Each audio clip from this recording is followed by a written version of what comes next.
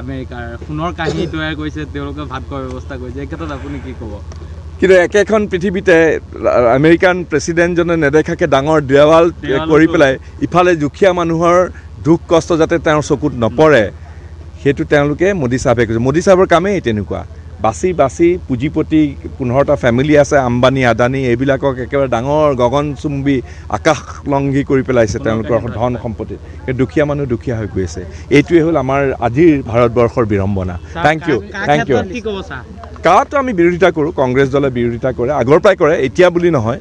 আগৰ পৰাই আমি কৰোঁ কাৰণ অসমীয়া অসমীয়াত্ব বুলি মই কওঁ। মই বহল ভিত্তিত অসমীয়া বুলি কওঁ। মই কেৱল অসমীয়া কথা কোৱা মানুহবিলাকৰ কথা নহয় যিটো চাউলুং চুকাফাদে যেনেকৈ কৰিছিলে এই অসমীয়াত্ব তেওঁলোকে নাইকিয়া কৰিবৰ কাৰণে আমাৰ নিজৰ পৰিচয় আমাৰ নিজৰ যিটো কেৰেক্টাৰ নিজৰ পৰিচয় নিজৰ যিখিনি আমাৰ এই গোটেই পৃথিৱীত এইখনেই আছে সেইখনো নাইকিয়া কৰিব খুজিছে তেওঁলোকে।